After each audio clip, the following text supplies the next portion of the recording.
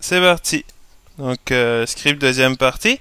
Donc, euh, si on était rendu à l'assignation de variables, comme on le voit dans le script ici, où j'avais assigné la variable etc à dire to archive. Donc là, l'assignation de la variable.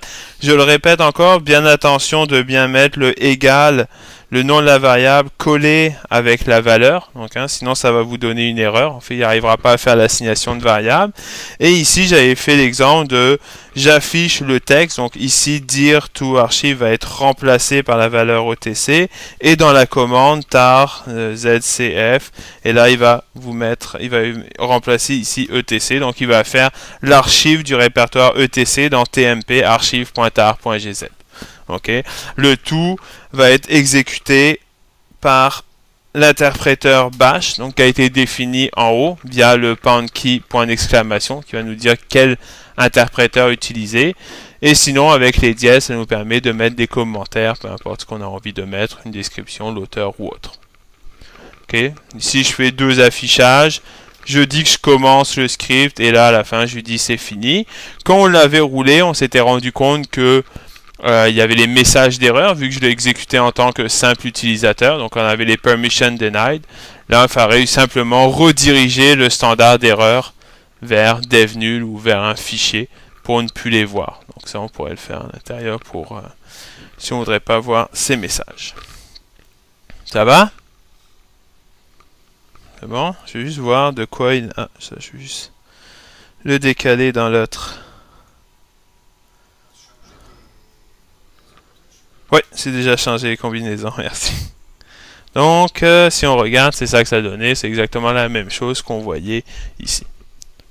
Ok, je vais juste remonter un petit peu le truc parce que j'ai un petit peu la fin de ma commande. Voilà. Des questions? Non? Ok. Est-ce que vous savez comment on pourrait faire en sorte de ne pas avoir les messages d'erreur, vu que je vois le script là? Parce que là, ça va, je sais que ça va m'énerver pendant l'exécution. Quoi? Ok. Donc, je le mettrai où? Dans le script, là, sur la ligne de commande. Où vous le mettrez? Dans le script Ok.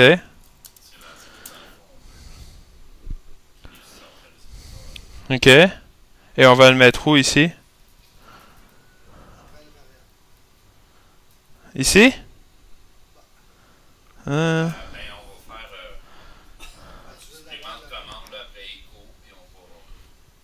Ici? Toi, tu le mettrais là? De. Dev nul?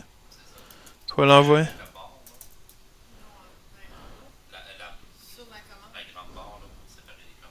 Non, si tu fais la grande barre ici, si on fait pipe, il va s'attendre à ce que ça soit une deuxième commande qui soit après le echo. Pour faire une redirection, c'est une... Le pipe, il prend la commande A et il envoie le résultat dans la deuxième. Quand on fait une redirection, c'est uniquement le numéro... Bon, je fais... Euh, le numéro du... Euh, du, l'identifiant du, de l'output. 1 si c'est le standard output, 2 si c'est l'erreur. Mais il n'y a pas de pipe qui est à mettre à ce niveau-là. Le meilleur lieu où on le mettrait, ça serait non pas sur le echo ni au début. On pourrait le mettre là, ça marcherait, mais euh, le plus approprié serait ici. Oups, je vais mettre un espace. Donc après la commande tar, peu importe les arguments que j'ai, je veux qu'il envoie tous les messages d'erreur sur le euh, dans le dev nul, donc dans la poubelle.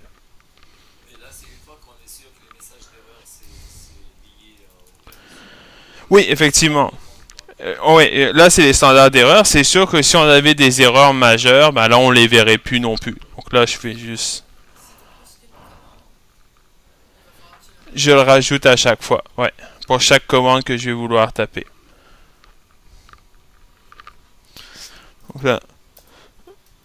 Je le reroule. Donc là, il m'a donné, hein, il m'a pas donné. On va voir que on va être en mesure de trapper à savoir si la commande précédente a fonctionné aussi. Donc on pourrait ne pas afficher les messages d'erreur, sauf s'il y a eu un problème. Donc ce qui nous permet de éviter d'avoir du, euh, du garbage. Vous voulez revoir le contenu? Ouais, dev nul pour la poubelle.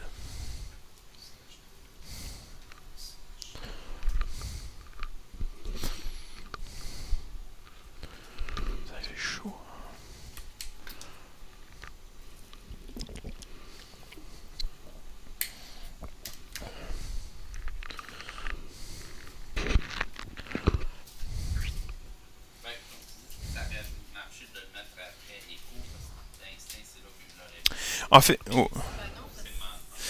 Mais non, regarde.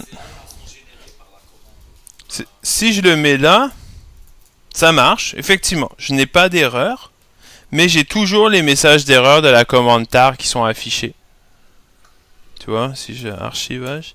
Pourquoi? Parce que c'est les erreurs de la commande echo qui sont redirigées vers dev nul, mais les, les messages d'erreur de tar est toujours affiché à l'écran par défaut.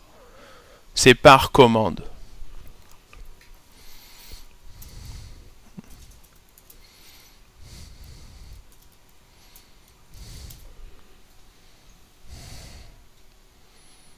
J'aurais pu aussi bien les rediriger vers un fichier, hein, TMP log euh, archive, ce qui me permettrait de faire une visualisation a posteriori. Ok Donc là, c'est bien. Donc là, on est capable de exécuter ce script et à chaque fois, il va nous faire euh, l'archivage du ETC. Donc là, c'est bien. Le problème, c'est que si je veux avoir un autre répertoire, peu importe c'est quoi, imaginons que je voudrais faire un archivage de slash home ou euh, peu importe la var backup, ben, il faut que j'ouvre le fichier que j'édite le fichier et que je change la variable à l'intérieur. Ok? Ce qui est plus ou moins grave pour nous étant à l'aise avec Linux, mais si on voudrait le donner à quelqu'un d'autre, ben ça peut être embêtant que lui, il n'a peut-être pas les connaissances d'utiliser VI, il est peut-être moins à l'aise à modifier le script. Donc ce qu'on va faire, ce que je voudrais qu'on fasse, c'est que au lieu de exécuter comme ça, on va lui dire je veux backuper ETC. Donc ce qu'on va faire, c'est qu'on va passer en argument sur la ligne de commande le répertoire qu'on veut backuper. Donc c'est simplement donner un argument au script pour qu'il puisse le prendre. Aujourd'hui, si je fais ça, ça marche, il n'y a pas d'erreur, mais en fait, si j'avais mis ici Toto, ça a exactement le même comportement, c'est-à-dire qu'il ne le prend pas du tout en considération. Ok?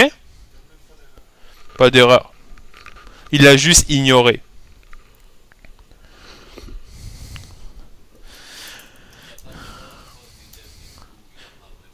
Il n'y a pas d'erreur parce que c'est le dev nul qui est la commentaire n'a pas été du tout en considération. En fait, le toto il a été envoyé au script. Le script il a assigné une variable interne, mais je ne l'ai pas utilisé. Donc ça a été pris, il l'a mis à la variable, puis euh, hop, il l'a il ignoré en fait. Ça a été euh, pas du tout pris en considération.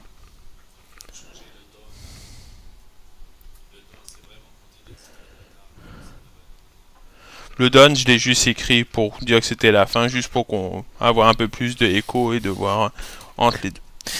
Pour ce faire, on a plusieurs variables internes. Hein. on l'avait vu qu'avec euh, la commande env et set, on pouvait voir la liste des variables du, système qui était déjà définie dans le shell. Euh, au niveau de, à chaque fois qu'on lance un script, on a plusieurs variables qui existent. Donc, euh, signe de dollar étoile, donc qui contient tous les arguments qui sont passés à la fonction. Donc, tout, toto, machin, il aurait été appliqué dedans. Si j'en ai 20 arguments, les 20 vont être affichés. Euh, dollar dièse contient le nombre d'arguments. Donc, quand j'avais fait slash toto, il m'aurait dit il y a un argument. Là, ça me permet de savoir combien d'arguments il a été passé avant de commencer à les lire. Donc, si j'en ai 20 ben, ou 15, ben, il va ici, la valeur, ça sera 15, donc le nombre d'arguments que j'ai eu. OK? Euh, Ça, on va revenir sur le signe de dollar, euh, point d'interrogation. Signe de dollar 0, c'est le nom du script. Donc, dans mon cas, le nom du script, c'est archive souligné etc.sh. Donc, ça va être le nom du script. Et signe de dollar, 1, 2, 3, etc. C'est le numéro de mon argument. OK? Donc si on reprend, si j'utilise ces arguments, je vais dire echo, par exemple, le script, signe de dollar 0. Donc ça, ça va être le nom du script qu'il a exécuté, donc archive souligné etc. Réalise, par exemple. Hein, et ici, au lieu de prédéfinir slash etc, je vais lui dire utilise signe de dollar 1, donc le premier argument qui a été passé.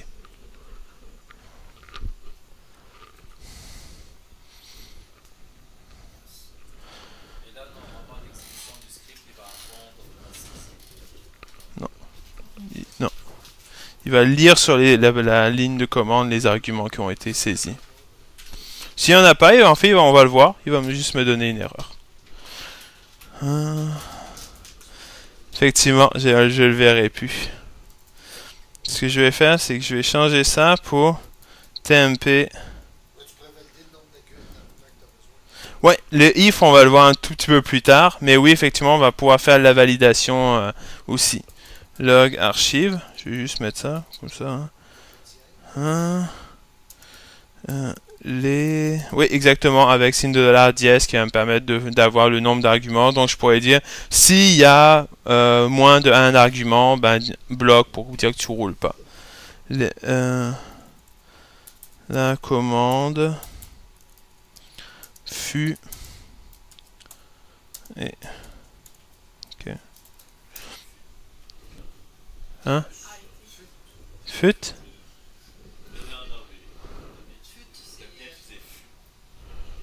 Ok. Bon.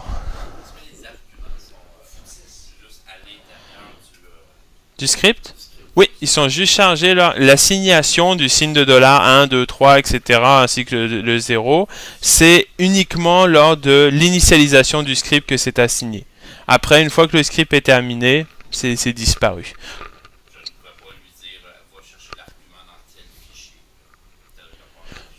Oui, on, va voir qu'on va pouvoir assigner avec une commande aussi des valeurs à une variable. On va le voir, on va utiliser par exemple la commande date pour assigner la date à une variable. En quelques instants après.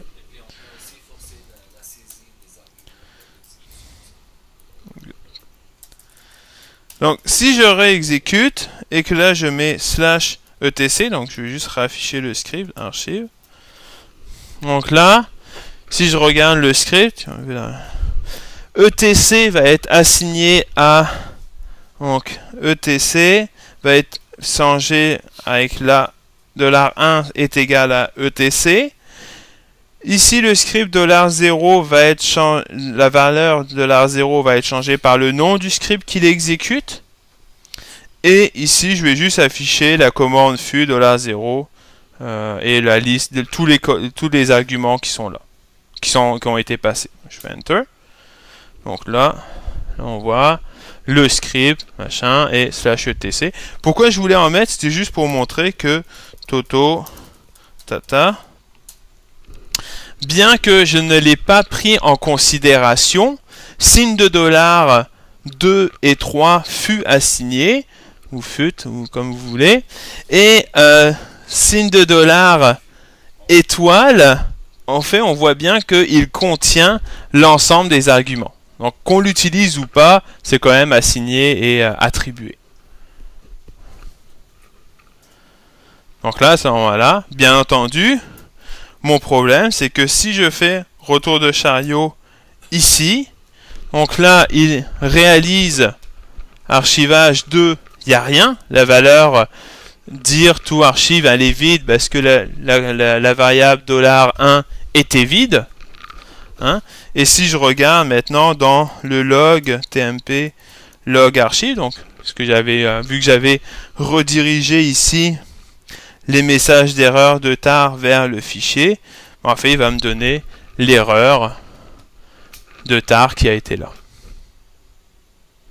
En fait lui ce qu'il me dit c'est que euh, il manque un, argument là. Ouais. Ça c'est l'avantage du logiciel libre.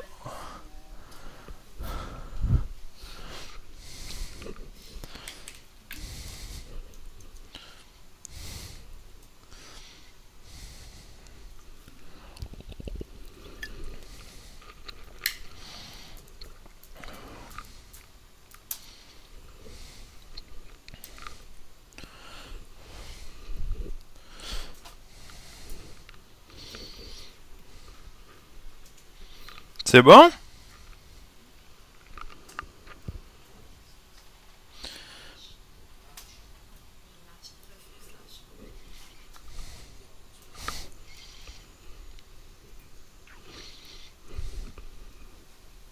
Excusez.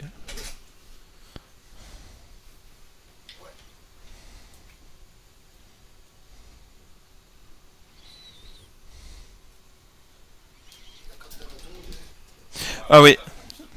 Le code de retour, oui, excusez-moi, j'ai euh, omis. On allait le voir aussi avec le if, mais euh, euh, en fait le signe, quand même, euh, je vais le nommer là. Le la variable ETC signe de dollar point d'interrogation, c'est la valeur, c'est le code de retour de la dernière commande. Ok, donc 0, enfin, si vous avez fait la programmation, c'est un peu fourrant. 0, ça veut dire qu'il n'y a pas eu de problème. Et si c'est 1 ou, n'importe quoi d'autre, en fait, si c'est pas 0, il y a une erreur. Ok? Donc si je fais lsetc, là, je, encore là, hein, comme on a dit, tout ce qui est dans le script peut être testé aussi à la main. Donc là, je fais lsetc, je fais hop, 0. Effectivement, mon etc, ma, ma commande ls, elle a bien marché. Si je fais lsetc Toto, j'ai une erreur. Là, il m'a affiché l'erreur, mais ce qu'il a aussi fait, c'est que le signe de la d'interrogation 2, donc c'est pas 0, il y a eu un problème. La commande tar aussi, elle a dû générer une erreur comme ça. Mais c'est pas toujours là, c'est 2, après c'est le, le système à l'interne qui va gérer. Si je refais le tar que j'avais voulu tout à l'heure, archive.tar, hop, echo, Signe de dollar, bon 2. C'est un concours de circonstances que ça donne 2 parce que ça pourrait être. euh, C'est pas standard en fait. Euh, JXBF. Echo. Ah, à chaque fois il me donne 2 là. Euh, J'ai pas d'exemple de commande qui euh, rapidement. Toto. 1. Bon. J'ai réussi à en trouver une qui me fait là. Donc là, un RM, lui, me donne 1. L'important, c'est juste de savoir que si c'est pas 0, c'est un problème. Parfois, dans le man page, tu vas l'avoir, les codes de retour, mais encore là, c'est pas, pas fréquent de les avoir. Là. Non, c'est ça. Tu les as pas dans, le cas présent. On va voir que cette, cette valeur va nous être utile quand on va faire les if. Parce que le tar, on pourrait dire, bon, tu as exécuté le tar, si la valeur de retour est pas 0, ben, affiche qu'il y a eu un problème avec la commande tar ou affiche le contenu du message de log.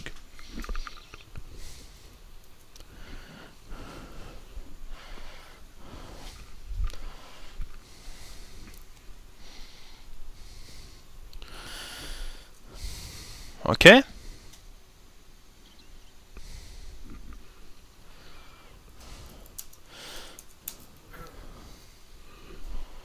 Donc,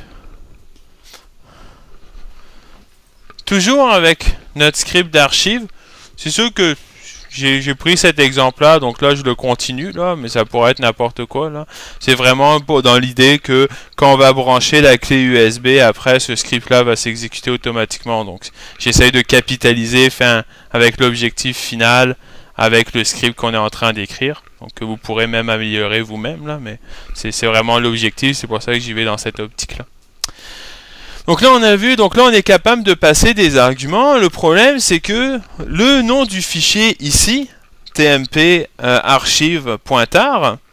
ben, à chaque fois il se fait réécrire. Hein, ça fait 5 fois que je, que je viens d'exécuter le script, ben, à chaque fois il overwrite. Donc si je veux que ça soit exécuté automatiquement, ben là mon problème c'est que euh, par exemple je voudrais l'exécuter à tous les jours, je veux pas qu'à tous les jours il écrive, il overwrite mon fichier d'origine. Hein? Donc ce que j'aimerais, c'est qu'il y ait la date de la journée qui soit présente. Ok? Ça tombe bien, on a une commande qui s'appelle date, qui nous affiche la date. Ok? Le problème, c'est que mettre le format, le nom comme ça, dans un fichier, pour un nom de fichier, c'est plus ou moins agréable avec les deux points, les espaces et tout. tout comme on l'avait vu pour la commande mp3 info, il y a possibilité de faire du formatage pour l'avoir sous un autre format. Hein? Donc, c'est sûr que moi, je l'utilise régulièrement, donc je, connais l'option, mais dans le man, on a les différentes options qui sont disponibles. Hein? Ici, on voit le format. Et là, il va nous fournir qu'est-ce qu'on veut avoir, la journée du mois, semaine, etc. Donc, on peut choisir sous quel format on veut avoir notre date. L'heure, les secondes, etc.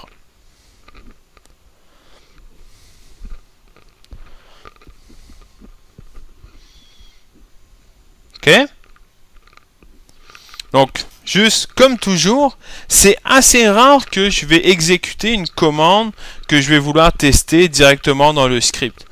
Quand je vais vouloir la tester, j'ai mon shell qui est là, je vais la taper directement pour voir, ah, est-ce que c'est ça que je veux avoir? Date, pourcentage F, majuscule. Comme je dis, moi, c'est ce que je la connais, donc j'ai l'habitude de l'utiliser. Et là, ça va me donner la date, l'année, mois, jour.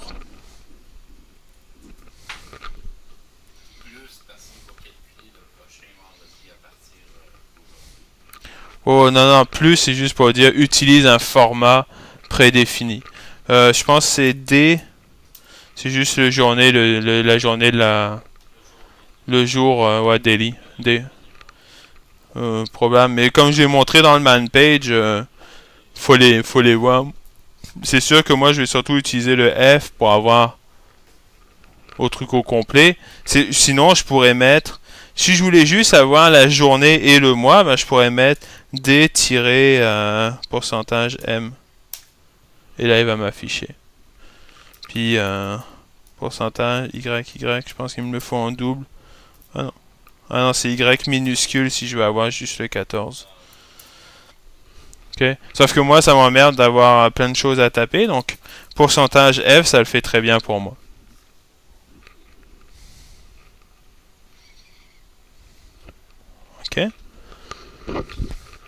Et on voit que ça, le résultat d'une commande, donc date, je vais vouloir le mettre dans une variable. Il y a deux notations qui est possible.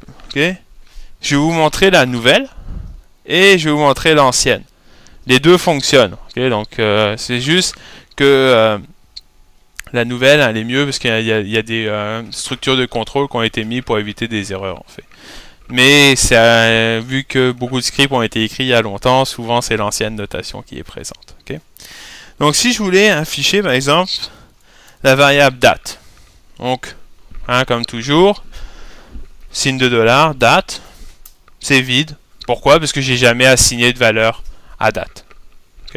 Donc ce que je vais faire, c'est que je vais assigner la valeur à date égale, hein, je le répète encore, toujours collé sur la valeur, et on voit que j'ai pas mis le signe de dollar avant le nom de la variable. Et la nouvelle nomenclature pour écrire des commandes, plus pourcentage F, je mets signe de dollar, et entre parenthèses, je mets la commande que je veux avoir.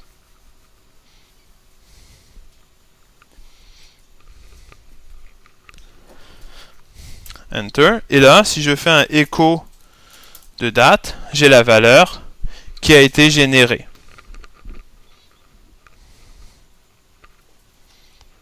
C'est un one-shot. Hein? Je veux dire, si je laissais mon ordinateur allumé et que demain je reviens, que je regarde ce que contient date, ça sera toujours le 18. Il faut que je réexécute la commande pour que ça change. Ok? Ça, c'est la nouvelle nomenclature qui est conseillée parce que c'est plus facile de mettre des pipes et tout ça, de faire des commandes complexes à l'intérieur, ainsi que des for, etc. donc, on peut plus imbriquer des commandes, ce qui est conseillé. L'ancienne nomenclature, je vais juste mettre date 2, c'est ça, c'est toujours plus chiant à trouver sur le clavier. C'est comme l'apostrophe, mais à l'envers. Hein? Donc, euh, L apostrophe, là, ça tourne vers la gauche. Et là, c'est Agoué accent, euh, accent grave. Ouais, mais c'est plutôt une... Euh, comme une apostrophe, mais inversée. Ok? Donc, en plus de être déconseillé maintenant, ben, c'est plus difficile à trouver sur le clavier. Si je regarde, co, date, de, excusez, date 2, la valeur sera là, aussi. Ok. c'est sûr que je vais vous inviter à utiliser plus celle-là, plus simple à utiliser. Ok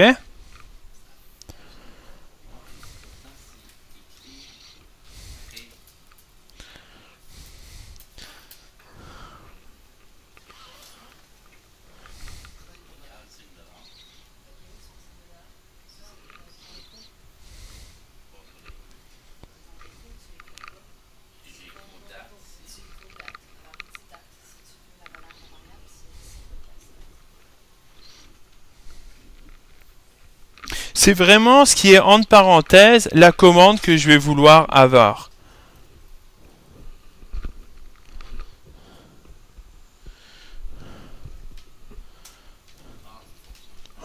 Et je peux mettre n'importe quelle commande. Hein. Je vais dire, euh, par exemple, perm PASSWD, je peux mettre signe de dollar ls-l de etc password. Hein, et là, il me met le résultat de ls-l password à l'intérieur de perm password. Hein, ça peut être n'importe quelle commande qui va se retrouver dedans pour assigner à l'intérieur de la variable. Ok? Donc, je pourrais faire vous vous rappelez quand on avait fait un random password et tout ça qu'on avait cherché? Ben je pourrais aller encore chercher ce random password ou un nom random à l'intérieur d'une liste et l'assigner à une variable pour une utilisation ultérieure. Hein? Pas de problème là-dessus. Donc, revenons à notre script. Hein? Donc, euh, dans le manuel, j'ai bien fait attention de vous mettre les deux notations hein, avec euh, l'accent euh, circonflexe à l'envers. Mais bien entendu, je vais toujours utiliser la nouvelle pour que vous le voyez le plus souvent. Donc qu'est-ce que je fais ici? On va changer le script. Et eh on va changer le script. En même temps, deux avantages. Je vous fais pratiquer un petit peu VI. Puis en même temps, est-ce que vous voulez que j'enlève la syntaxe highlighting? Est-ce que vous voyez mieux comme ça? Ouais, ok. Donc ce que je vais faire, je vais assigner une variable date. Moi, j'aime bien les variables. Hein. Euh, j'aime bien en faire. Je vais mettre juste la date, je vais l'assigner à une variable. On pourrait le mettre au milieu du script, ça marcherait aussi. Mais en tout cas, j'aime bien quand c'est organisé, quand c'est propre, là, et des petites variables, euh, je préfère ça. Mais bon, après, libre à vous. Donc là, j'assigne la valeur, oups, date,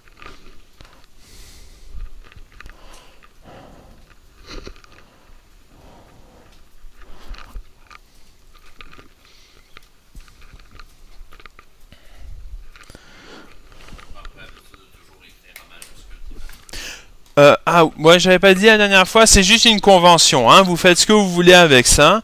Oui, c'est sûr que moi je vais toujours les mettre en majuscule. Euh, parce que la majorité des gens les mettent en majuscule, donc euh, j'utilise le même principe. Ça va être aussi, si vous constatez, l'ensemble des commandes système, donc ls, echo, date, tar ou peu importe, tout ça c'est en minuscule. Donc au moins tu es sûr que ce qui est en majuscule c'est une variable. Si c'est en minuscule, ben ça ça veut dire que c'est probablement une commande, une fonction ou, autre. Donc ça permet de faire une bonne distinction entre les deux. Bien qu'il y ait le signe de dollar avant, mais bon. C'est vous qui voyez.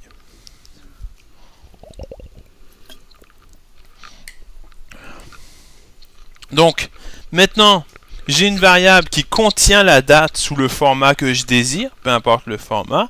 Et ici, je vais rajouter tirer et la variable date. Donc maintenant, le nom de l'archive qui va être créé, ça va être tmp archive la date.tar.gz. quitter sans sauver, escape pour entrer en mode commande, deux points, Q, point d'exclamation pour dire quit sans sauver.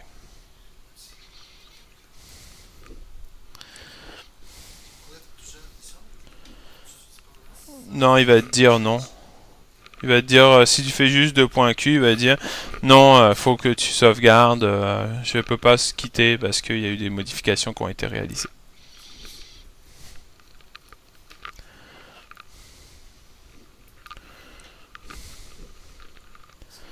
Bien entendu, là dans mon script, j'ai pas écrit les secondes, donc pendant toute la journée, je vais overwriter sur le même, le même script, le même tar gz. Au moins, si je l'exécute à deux jours d'intervalle, il va avoir une différence. excuse.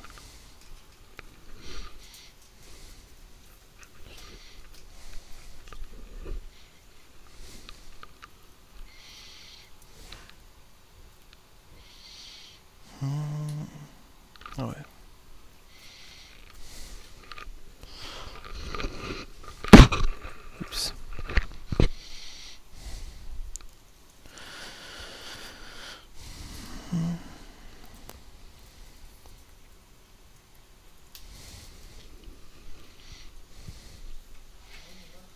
Va?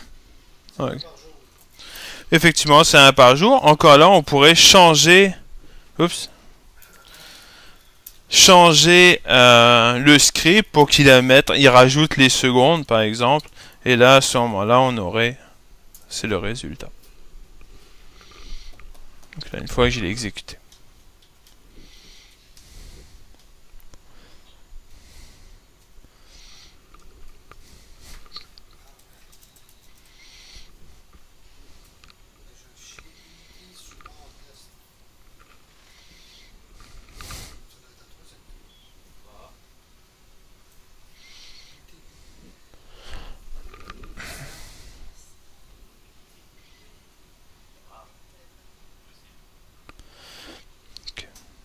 C'est bon?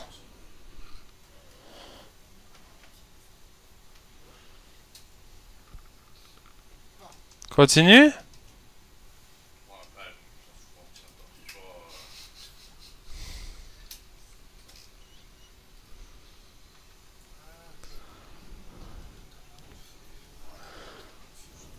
Ouais, c'est pas. Le écho a peu d'importance. C'était vraiment dans le.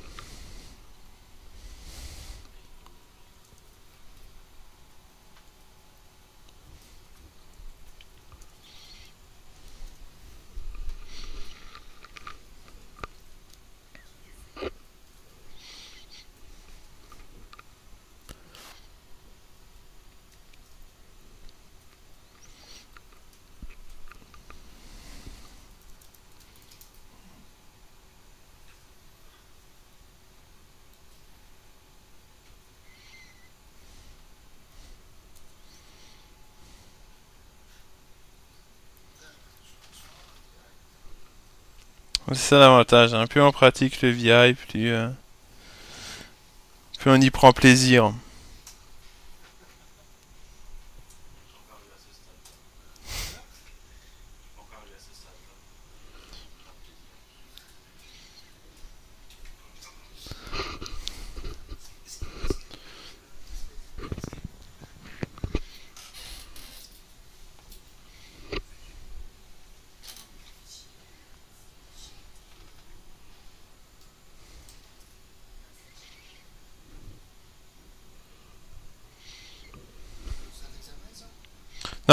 Les scripts bash, je euh, j'étais pas, j'avais pas encore complété, mais vous avez le mini quiz si vous voulez. Mais encore là, le mini quiz, c'est vraiment des compréhensions du bash, du, scripting et non pas le détail de la réalisation d'un.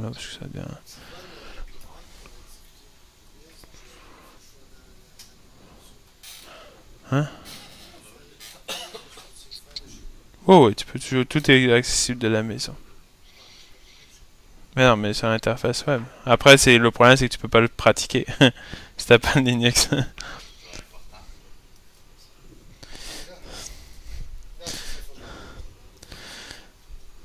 Donc, dernier, finalement, on fera pas, peut-être pas les structures de contrôle avec les if aujourd'hui, ce qui nous laissera pour euh, la prochaine euh, cours les structures de contrôle, donc if, for, etc., pour euh, voir un petit peu comment faire un petit peu de, validation.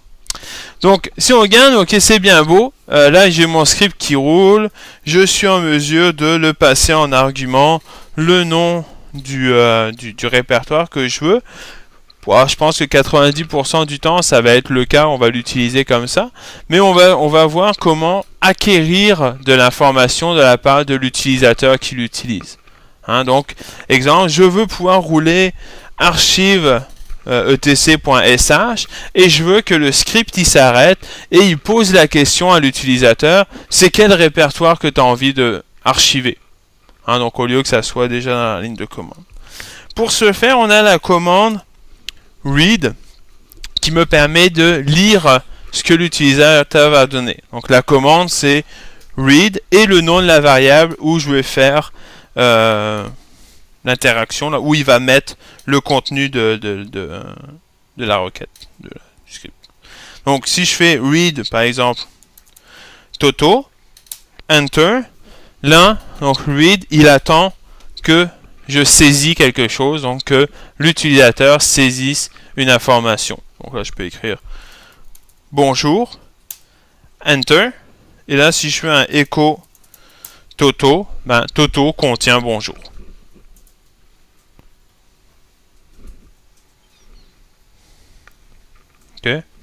Read attend et il, il met ce qu'il a pris à l'intérieur de Toto.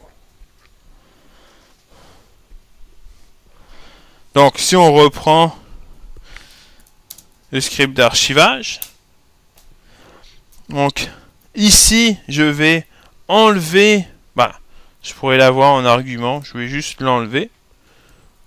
Et ce que je vais dire, je vais dire echo "-n", entrer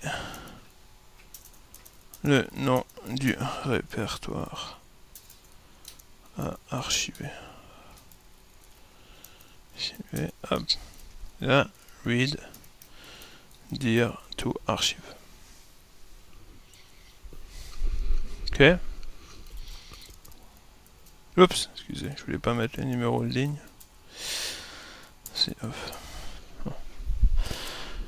Donc ici, j'affiche le message que je veux que l'utilisateur il ait. Là, j'ai mis moins "-n". Pourquoi j'ai mis moins "n", c'est que vous vous rendez compte à chaque fois qu'on tape echo, à la fin, il affiche le message, puis il fait un retour de chariot. Donc là, ce que je voulais, c'était que quand l'utilisateur va avoir ce message-là, que le curseur soit à la fin, puis qu'il attende. Hein, parce que sinon, l'utilisateur, il fait comme... Pourquoi le curseur il est en bas Il me pose une question, mais il y a déjà eu le retour de chariot, ça perturbe l'utilisateur. Donc pour pas trop le perturber, surtout pas, déjà qu'il va rentrer une mauvaise information, donc... Euh, donc, juste pour démontrer, puis après je vais le réafficher. Donc, j'exécute. Hop. Le script s'arrête. Il me demande d'entrer le nom du répertoire que je désire. Je rentre ce que je veux backuper. Je vais HTC par exemple. Enter. Et là, il continue.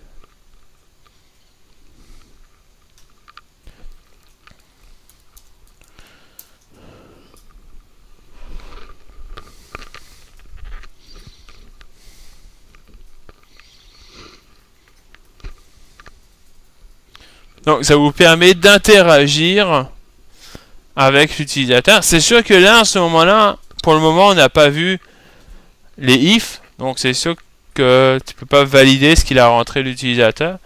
Mais ça te permet déjà d'avoir une interaction possible avec ce dernier. Vous voyez encore une fois, tout comme lorsque je fais l'association de la variable, la variable ici n'a pas le signe de dollar. Le signe de dollar n'est uniquement présent quand j'utilise la variable à l'intérieur du script.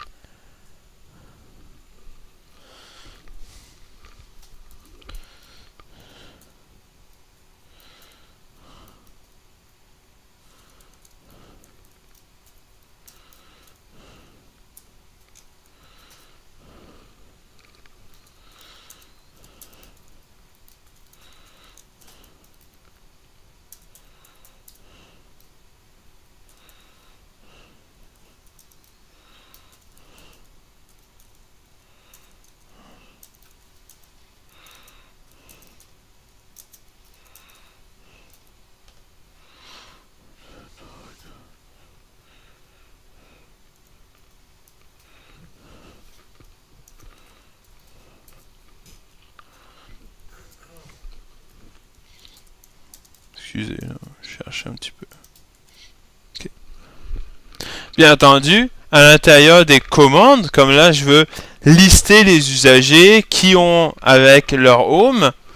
Là je fais un cat grep, je veux juste que ceux qui ont bash et je fais mon code pour avoir juste le nom de l'utilisateur et le nom du répertoire. Hein? Ben après, hop, et ma variable lst avec home si je fais juste euh, là j'ai la liste de mes utilisateurs qui sont présents. Route Thomas et le guest. Qui ont été assignés avec un espace entre qui est l'équivalent un peu du retour de chariot que j'avais eu. Hein, si je reprends la même commande mais que je ne l'affiche, je le mets pas dans une variable, mais que je l'affiche, hop, j'ai exactement les mêmes informations. donc je peux mettre des commandes complexes pour qu'il le rajoute à l'intérieur de ma variable.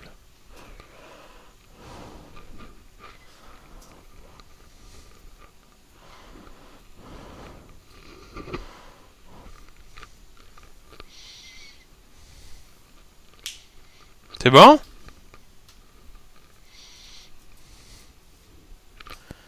Ah, bah. Ce qui m'amènera aux structures de contrôle. Donc, qu'est-ce qu'on va voir? Bah, On le verra. Là, on est quoi? On est mardi. Avec jeudi, on verra euh, le if. Donc, euh, voir comment faire les conditionnels. Parce que, comme on a vu, si on commence à proposer à l'utilisateur de rentrer des informations, c'est fort probable que l'information sera mauvaise. Donc, par exemple, dans notre cas du script d'archivage, ben, on va s'assurer que c'est bien un répertoire qui veut backuper ou que la destination existe ou peu importe. Donc on va faire une validation sur l'argument ou euh, ce qui a été demandé à l'interaction avec l'utilisateur. Ok? Donc là on va voir comment faire des tests. Euh, je vais encore une fois, il y a deux nomenclatures. On va pouvoir aussi faire une validation, à savoir c'est qui qui exécute le script. On va permettre uniquement l'utilisateur root d'exécuter le script. Donc ça va nous permettre de faire des validations. On va faire ça. Et on va voir, en espérant qu'on ait le temps, les boucles for. Donc comment parcourir une liste pour pouvoir la traiter. Donc en fait, grosso modo, notre script d'archivage ressemblera à ça à la fin. Ah non, il n'est même pas complet, lui. Il n'y a pas le if dedans. Ah, j'aurais dû tout rajouter. Hein. le script d'archivage, ouais, ça c'était celui-là, le script d'archivage à la fin.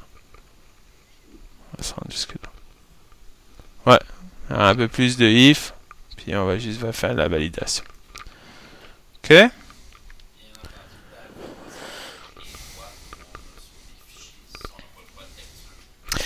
Exactement. Le tar qui est exécuté, le, quand le script est exécuté, il est exécuté avec les droits que tu as lors de la création, lors de l'exécution. Donc, es, si tu en tant que simple user, parce que tu sais, le, tar qui est, réalisé dans le script, c'est exactement comme si tu l'avais tapé à la main. Donc, il n'y a pas de différence en termes de, euh, de droits. Par contre, il y a toujours possibilité d'appeler le script en faisant sudo et le nom du script à ce moment-là, tu seras route lors de son exécution et tu n'auras plus les erreurs de permission parce que tu auras été exécuté en tant que route.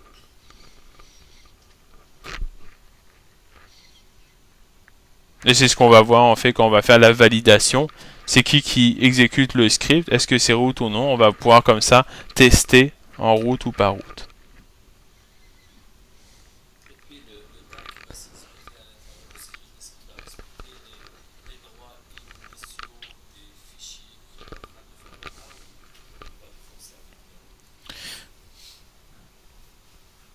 le tar, la propriété du tar fait toujours un, backup avec les permissions et le owner courant. Peu importe que je l'exécute en tant que tboutry, route ou n'importe quel utilisateur, quand il va aller par exemple chercher etc password, si l'utilisateur il a le droit de, le lire là, donc euh, par exemple etc shadow, mon utilisateur pourra pas le lire donc il pourra pas faire le backup, mais si c'est root, root va aller voir un fichier etc password, il va dire ok ça c'est les permissions, je les garde telles quelles et je garde le owner et le euh, groupe propriétaire. Donc il n'y a pas d'altération sur le contenu, contrairement à la commande CP, où CP par défaut va faire une réassignation à l'utilisateur qui a exécuté. Donc si je copie des fichiers qui appartenaient en route avec mon utilisateur Tbootry, ben, il va les réassigner, le owner et le, et groupe vont être les miens et puis celui-là du route. Avec l'option "-p pour préserver les permissions, il y a possibilité, mais c'est juste la commande. L'utilisation par défaut de CP le fait pas.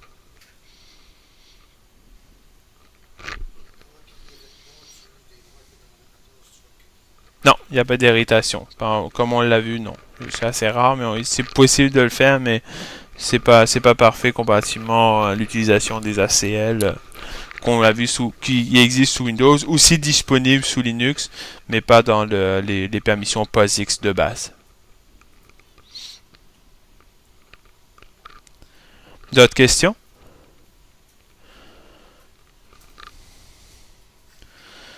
Voilà, donc euh, il y a le petit quiz aussi.